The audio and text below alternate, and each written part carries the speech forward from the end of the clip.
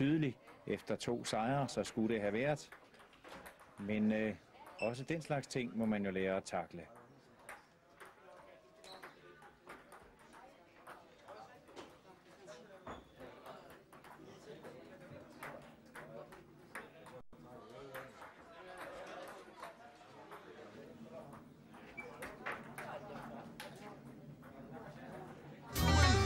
Like a motherfucker. Suck, can you picture middle finger up the